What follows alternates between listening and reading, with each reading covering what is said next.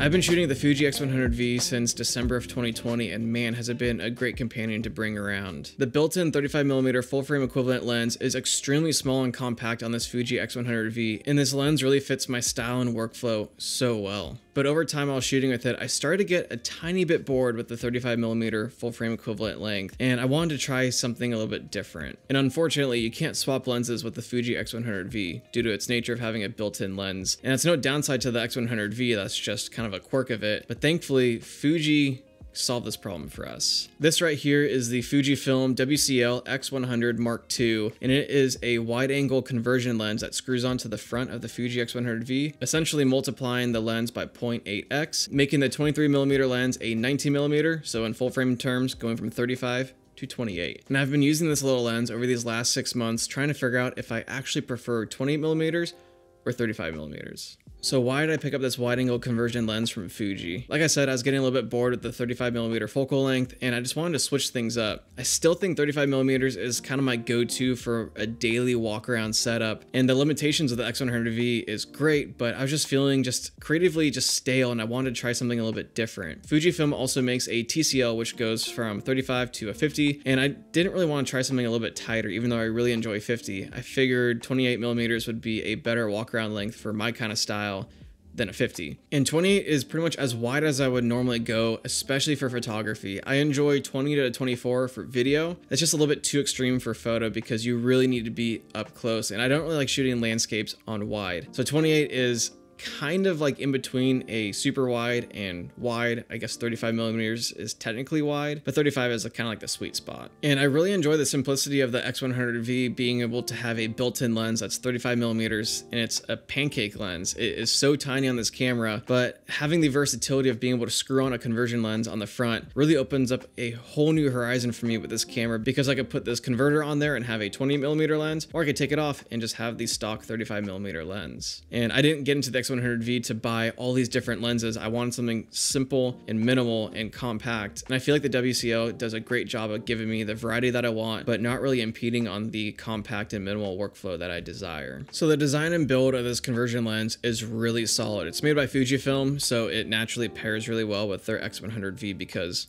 it's designed for it. But the build quality feels really solid. It feels nice in hand, has a nice little bit of heft to it. I, for some reason, thought it would be a lot bigger because wide angle lenses tend to be like thicker and wider, but this lens is extremely small, so it just fits really well in this X100V. Alongside that, this adapter comes with a front and rear cap to make sure the glass stays clean. It also comes with a nifty little pouch to make sure the entire body stays scratch free. And it's nice because I have a dedicated spot to carry this conversion lens around. So I just throw in my bag, in my car, wherever. I know it's gonna stay organized and pretty much decently protected. I don't plan on dropping it, so I'm not too worried about that. But having that little pouch is just a nice little touch from Fujifilm. This adapter really does look at home on my Fuji X100V. It does stick out a little bit farther, so it makes the footprint a bit bigger than I'm used to, which kind of might get annoying. And then with the extra heft on it, it does make the camera tilt a little bit forward, but pretty much any camera besides maybe the Ricoh GR3 is going to protrude forward because lenses are usually heavier and longer than camera bodies. So naturally the center of gravity gets pushed out. This adapter also comes with a front ring so you can attach any filters or lens hood to it. And I think with this adapter, it should weather seal the X100V. You should be fine, but I would definitely test it out before. I haven't had any issues with the weather sealing of it. I guess it's better than not having anything on the front of the built-in lens. Another thing to keep in mind is that with the extra footprint, it does block the built-in flash. So with any lens hood that you're gonna add onto the X100V's built-in lens, most of them should block the built-in flash by a little bit, but with this adapter, it just adds like this really dark shadow on any close subject. So if you shoot with flashes a lot, I would definitely keep that in mind. And then lastly, this lens also gives you a nice place to rest your left hand when shooting this camera. When I only have the built-in lens, it just kind of feels awkward to place my left hand somewhere. It doesn't feel at home underneath the lens and I could kind of cradle the camera, but that's kind of weird. But with this extra footprint of this adapter, it really gives you a nice little spot that is just naturally ergonomic when shooting with cameras to just hold your hand underneath the lens and support it. And it just feels nice and at home. So if you're used to that kind of workflow, you actually might enjoy the extra footprint that this offers. For the image quality, I haven't really noticed anything too drastically different between the built-in lens and this adapter. Naturally, you're adding glass in front of the lens, so there should be degradations with it, but I haven't noticed anything. This is a well-designed piece of glass from Fujifilm, and the image quality that I've gotten out of this adapter looks pretty much identical to what I've taken with the built-in lens.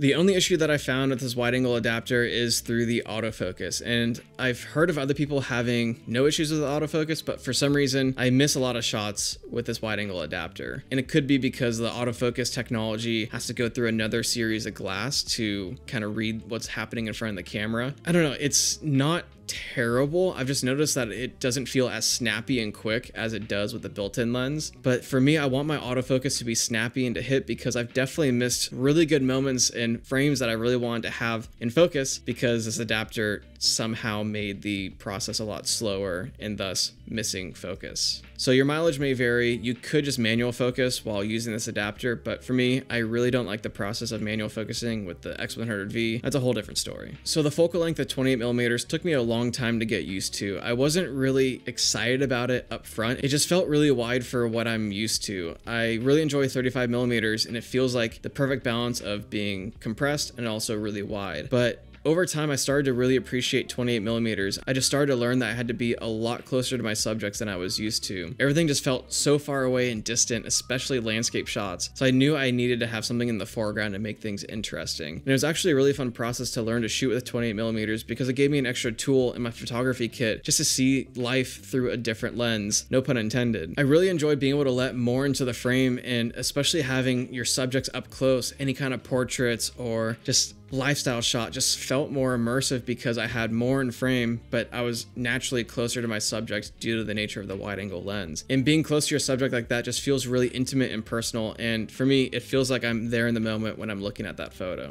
So I'm really glad that I spent time with this 28 because it just offered a completely different shooting style than what I'm used to. So overall, after these six months, do I recommend this wide angle adapter? I think yes. I think if you really enjoy the Fuji X100V and the workflow of having a simple kind of point and shoot camera, and you don't really want to have all these interchangeable lenses, I think yes, you should 100% add this WCL to your kit because you get a small little lens for $350 that takes up no room in your bag, but it gives you a completely different focal length to choose from instead of just shooting at the 35 the entire time. And if you want, you can also add the TCL and have a 50 in there, so then you have three lenses kind of in one, but then you're only carrying two extras because the Fuji has the built-in lens. It's a solid little lens, it doesn't take up too much space on camera, the image quality seems pretty dead on, and the autofocus might be hit or miss depending on kind of your settings and what you're shooting. But if you're worried about that, you can always just shoot in manual focus or just take extra care when shooting in autofocus. There's not too many options out there for cheap Fuji cameras that you can have a 35 and a 28 for under $2,000. I guess the closest option might be the Fuji X-E4, but the build quality of that definitely feels a bit cheaper than the X100V. So all in all, with the Fuji X-E4, if you want to have two lenses in your kit, you're looking at $2,200 plus tax MSRP versus the Fuji X100V which is $1,400 plus a WCL, which is 350. So 1,750 plus tax. I think you can't go wrong with the X100V, especially since the 35 millimeters is a pretty popular focal length to have as a built-in lens. You can always just supplement it with these little adapters. I guess if you really want a 28 millimeter lens built into the camera, you can always look at the Ricoh GR3. It's a thousand dollars, but there's a lot of pros and cons to shooting on the Ricoh versus the Fuji, which I want to save that for a different video later on. So if you're feeling bored or creatively stuck with 35 millimeters, I would 100% pick pick this thing up and then maybe the TCL as well. But I think for the size and weight and price and the focal length, you can't go wrong with this little 19 millimeter lens from Fuji. 28 millimeters is a really fun focal length for daily life shooting. And if you're not really used to it, I would 100% give it a try.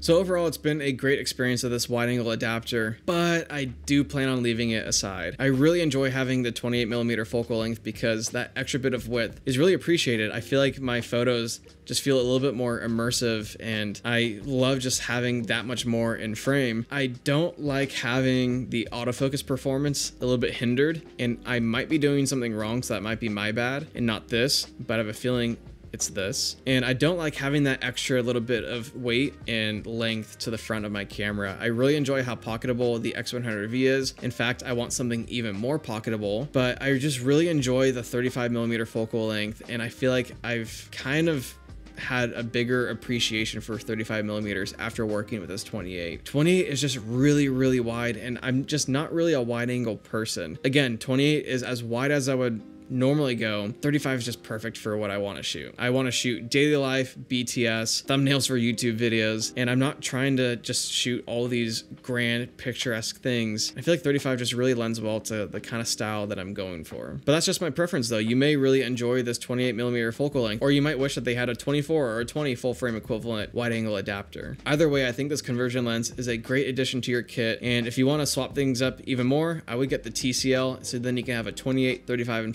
50 and just carry around two little adapters and away you go. I really appreciate that Fuji made these really tiny and small because if you're using the X100V, you want to have a small and quick and nimble workflow. So if these adapters were huge, I don't think many people would want to pick them up or carry them around. So with all that, I want to leave you guys with all the photos that I took over these last six months with this wide angle adapter. Everything I shot was in RAW in 3x2, so full sensor, and then I edited everything in Lightroom with my Fuji presets. I'll leave links to these presets down below if you want to check those out. And yeah, if you guys have any questions about this wide angle adapter or the Fuji or the Ricoh or anything, send me a DM, leave a comment down below. I'd love to chat through that with you guys. And yeah, hope you guys enjoyed this video.